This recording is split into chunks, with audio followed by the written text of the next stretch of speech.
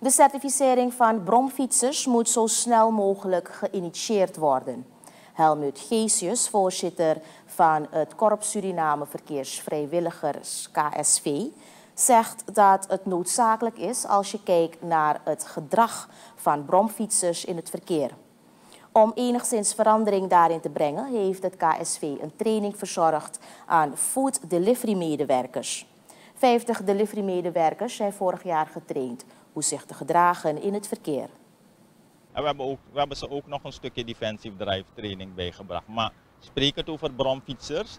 Ik denk dus dat het noods, meer noodzaak wordt dan behoefte zelf om die bromfietsers te gaan certificeren, te gaan trainen.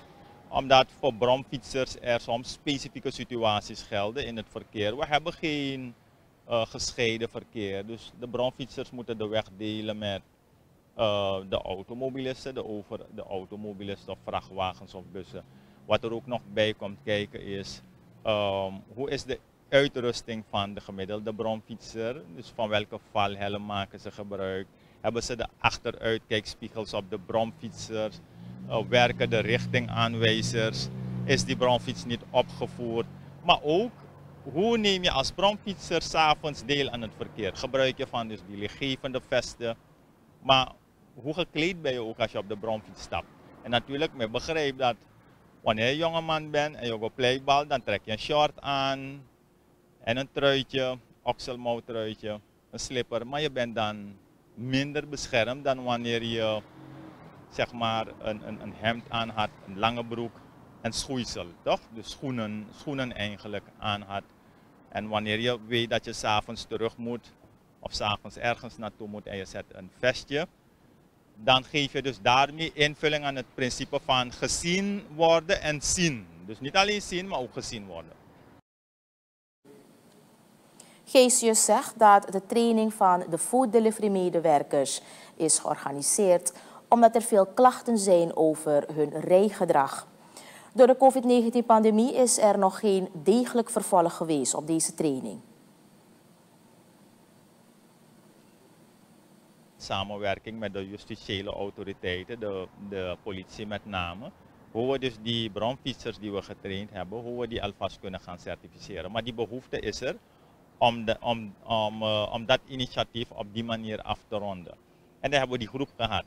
Maar in principe zijn, we nog niet klaar. Want wat belangrijk is, is dat die groep die je hebt getraind, dat je die groep alvast ook begint te volgen. Want hoe doen ze het na die training? Want de is wat ze uithalen.